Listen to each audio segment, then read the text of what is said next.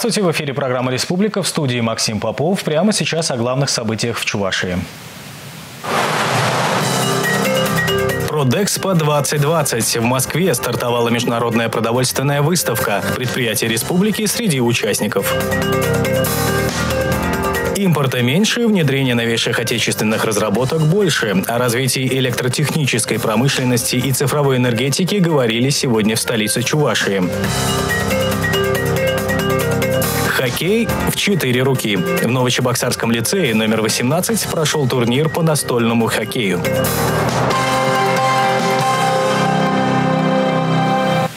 С рабочим визитом в Чувашии побывал заместитель министра промышленности и торговли России Михаил Иванов. На Чебоксарском электроаппаратном заводе он провел совещание по вопросам развития электротехнической промышленности. Далее продолжит Рифат Фаткулин. У завода немало фундаментальных разработок, практически готовых к освоению. Микропроцессорные устройства релейной защиты – особая гордость. Их используют в разных отраслях, от электроэнергетики и нефтегазового сектора до космоса. Сегодня ЧАС обеспечивает энергетическую безопасность всей страны. Релейное оборудование завода используется на большинстве объектов российской энергетики. На предприятии ведут постоянную работу по совершенствованию системы качества. Просто в серии которые вы видели, э, аттестуется, э, проходит испытания в лаборатории, это Саров. Вот. Э, по факту окончания... Да, именно так. Вот. Э, по факту окончания испытаний мы уже передаем в стек документы и получаем э, заключение. Вот как раз с ними общались, там был ряд вопросов вчера, наверное, часа два. Mm-hmm. Вот, ну, то есть в этом году вы выйдете на сертификацию? Вот. По Да. Молодцы. Именно так. Разговор о перспективах базовой релейной защиты продолжился на совещании. Инновационные технологии двигают профессиональные кадры. Современная наука очень нуждается в них. Сегодня в республике более 200 электротехнических компаний. Из них 30 входят в отраслевой кластер. Все это обеспечивает чувашским производителям доминирующую роль на рынке электротехнического оборудования, релейной защиты и автоматики. Это более 40% по э, российскому рынку. Реализуются поставки в десятки стран ближнего и дальнего зарубежья. То есть в этом сегменте экономики республики сформирован солидный научно-технический и производственный задел. Но, конечно, есть резервы для дальнейшего развития. Это касается и технологического перевооружения мощностей, и внедрения цифровых решений, и расширения продуктовой линейки. И, кстати, вот э, за то небольшое время, которое я смог посетить сегодня э, несколько предприятий. Я уже вижу, что есть возможности, в том числе и для наращивания кооперации внутри республики. Э, в частности, вот на Хевеле мы обсуждали эти вопросы. Мне кажется, здесь надо вместе с э, регионом нам поработать. Мы готовы посмотреть со стороны федерации, чем сможем помочь. А здесь на вашем уровне нужно будет просто правильно выстроить кооперационные связи. Что делать энергетику завтрашнего дня? Уже сегодня надо думать о кадровом резерве. В частности, увеличение бюджетных мест. Я думаю, что мы будем разговаривать, конечно, с коллегами из Министерства науки и высшего образования. И вполне возможно, с учетом положения послания президента, мы найдем тоже здесь соответствующую поддержку. Поэтому будем идти, как говорится, шаг за шагом, э, решая одну проблему. Э, вполне возможно, у нас появятся новые задачи. Намеренно ставить все большую планку перед собой тем, чтобы э, нам быть, вот, если не впереди, но как минимум конкурентными. Затронули и финансовую сторону вопроса. Мы ведущие э, по всей стране и даже продвигаемся на мировые рынки.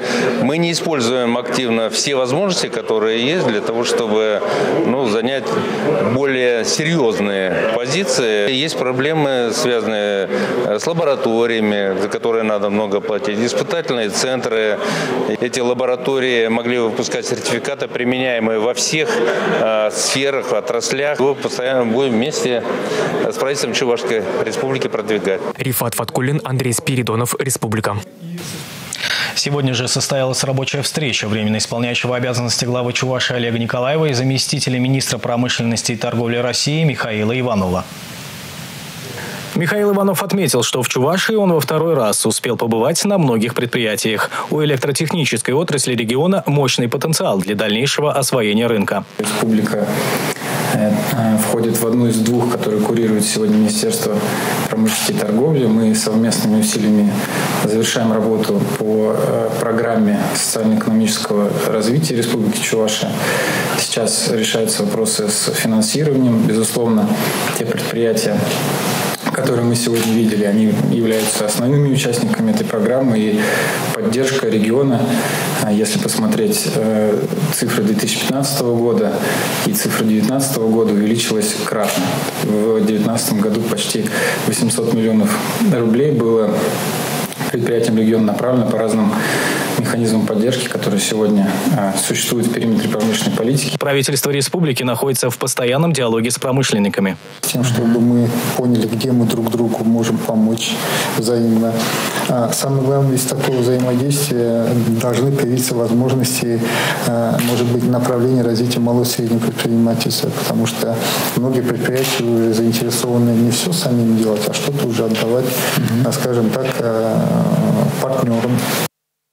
Заместитель министра промышленности и торговли страны Михаил Иванов посетил цеха Элары. Одно из ведущих приборостроительных предприятий страны отмечает 50-летие. На нем производят системы управления бортовой вычислительной техники, оборудование для военной и гражданской авиации. Предприятие ассоциируется у партнеров с высокими технологиями. Аккаунт временно исполняющего обязанности главы Чуваши Олега Николаева в Инстаграме был фальшивым. Информация, которая до недавнего времени размещалась в данной соцсети, не была инициирована и согласована ни с самим Олегом Николаевым, ни с его окружением, сообщается на официальном сайте в Рио главы региона.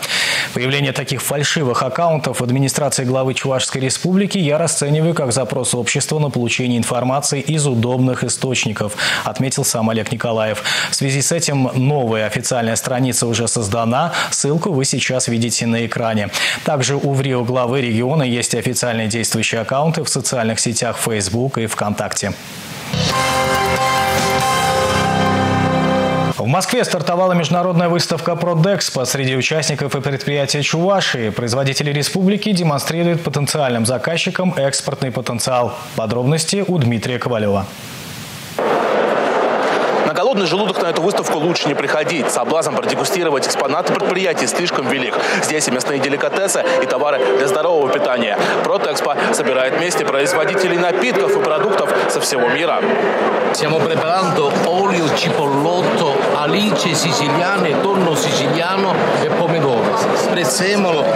В одном из самых крупных выставочных центров Москвы заняты все павильоны. В этом году среди участников форума Продэкспо более двух с половиной тысяч предприятий из 70 стран.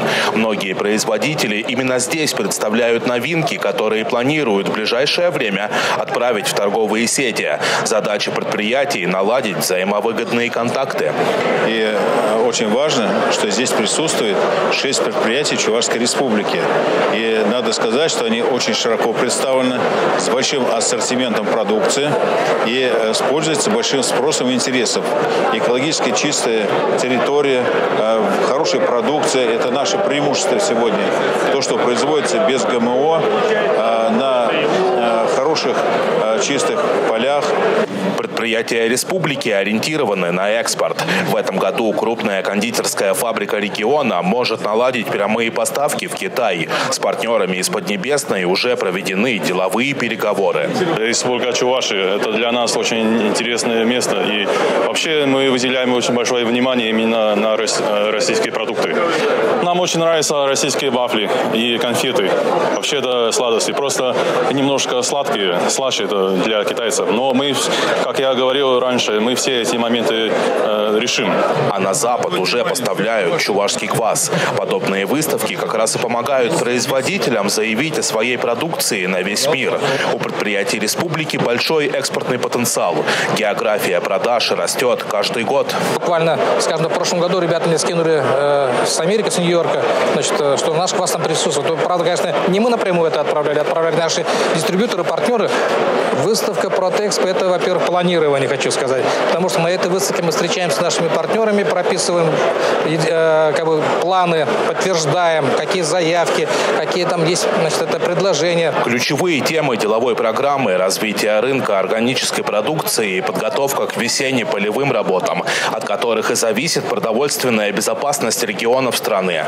Господдержка агропромышленного комплекса выходит на первый план. Среди задач, обозначенных временно исполняющим обязанности главы республики, наращивать темпы известкования почв. 90% затрат возместят из федерального бюджета. А вот видение, за какой срок мы можем за счет тех э, средств, которые у нас есть, реализовать изыскование с тем, чтобы эти земли ну, как бы соответствовали современным стандартам производства соответствующих агротехнических работ.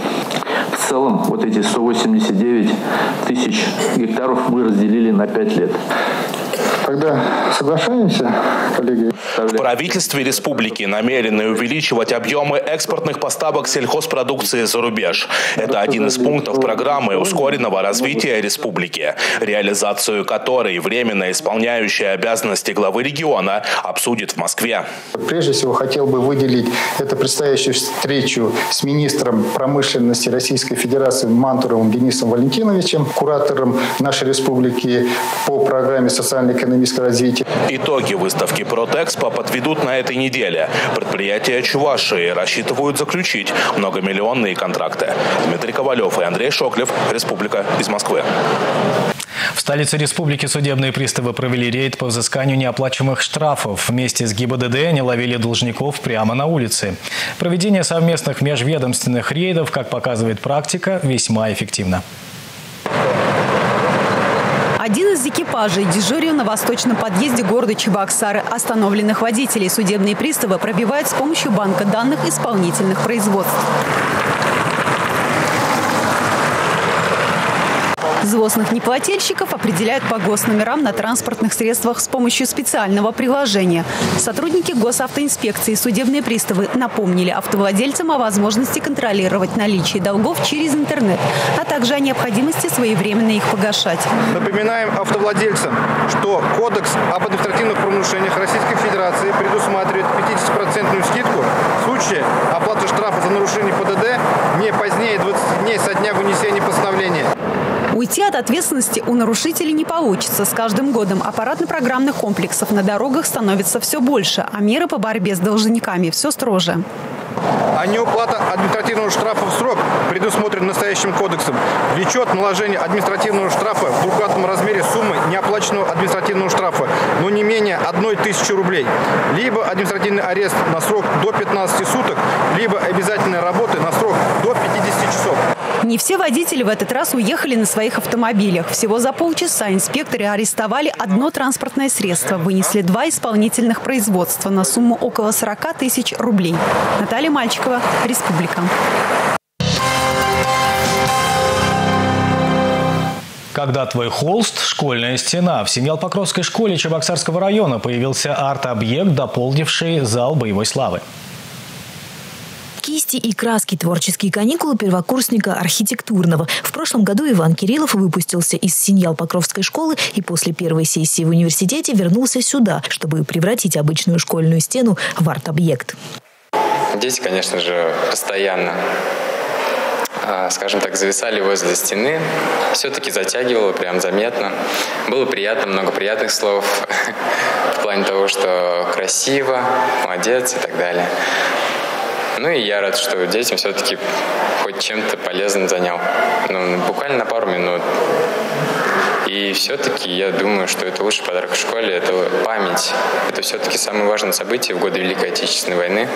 Это символ победы, это честь, это уважение к тем, к нашим солдатам советским, которые при... подарили нам победу, подарили нам жизнь.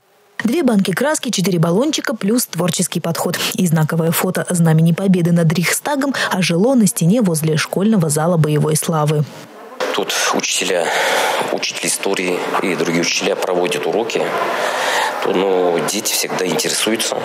Приходит и сельская молодежь, и население нашего поселения. У этой картины, как и у оригинальной фотографии, теперь есть своя история, которую будут рассказывать во время экскурсий и уроков. Ирина Волкова, Юлия Адюкова, Бахтияр Велиев. Республика.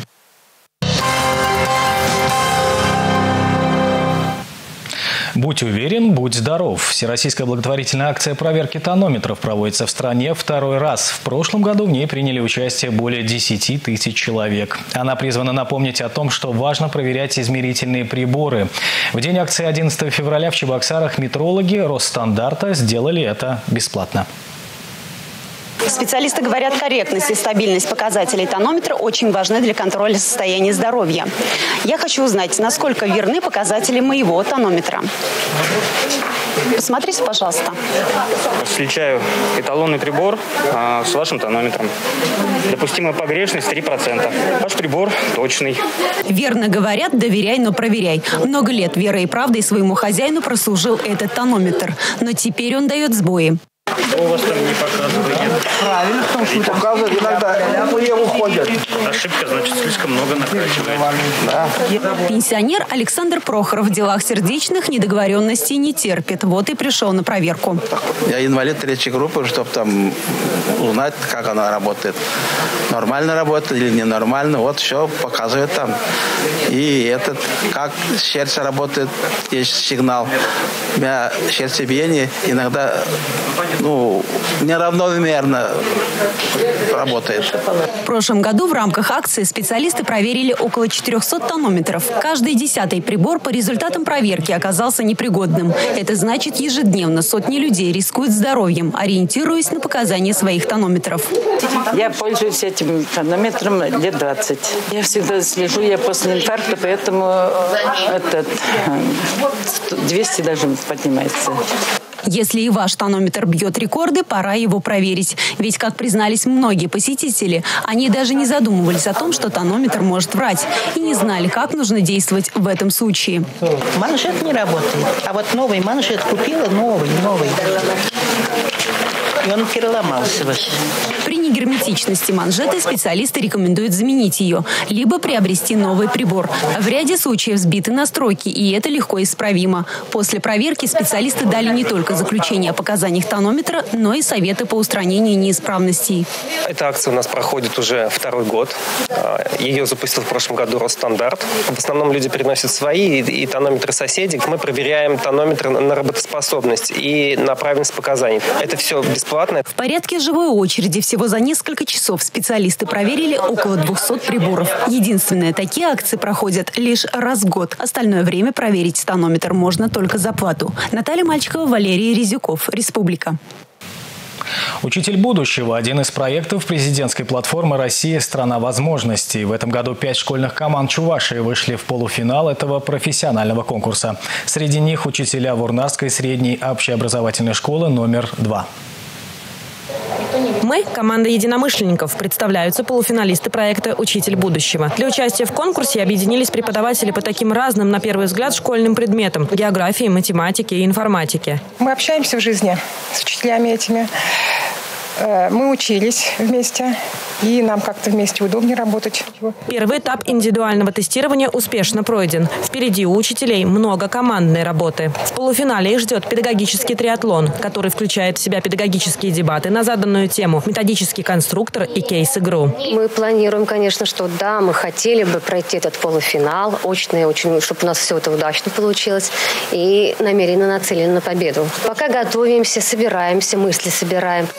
Отличным подспорьем в подготовке к конкурсу стала точка роста. Центр образования цифрового и гуманитарного профилей открылся в школе в прошлом году. Здесь преподаватели со своими учениками часто собираются для мозгового штурма. Ведь в случае выхода в финал команде учителей предстоит продемонстрировать открытый урок географии с применениями знаний по информатике и математике. Слушайте, а ведь квадрокоптер можно запрограммировать на любой полет. Вот помощью его мы как раз и обновим карту нашего поселка. Точно! А правильно нанести данные на карту нам поможет мой любимый предмет – математика. Очный полуфинал команд ПФО пройдет в Уфе в марте. В нем выступят 50 команд. Чувашию на этом этапе помимо вурнарских учителей представят команды еще четырех школ республики. Богдана Дойникова, Валерий Резюков, Республика. В Новочебоксарском лицее номер 18 прошел турнир по настольному хоккею. Его участники – отцы и дети. Совместные игры объединяют поколения. Здесь почти все, как на турнире по хоккею на льду. Шесть игроков, штраф за задержку шайбы и крики болельщиков. Только вот принимать решения и действовать нужно одному игроку за всех. Настольный хоккей развивает очень хорошо моторику рук и мы, мыслительность быструю. Ну, очень тяжело схватывать вот так вот все сразу игроки. Приходится очень, очень сильно думать.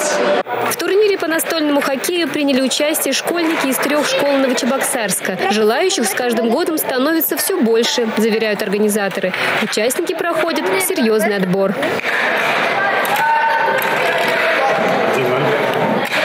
Это спорт, хоть и в виде игры, но он развивает в детях, э, во-первых, э, уважение к своему сопернику.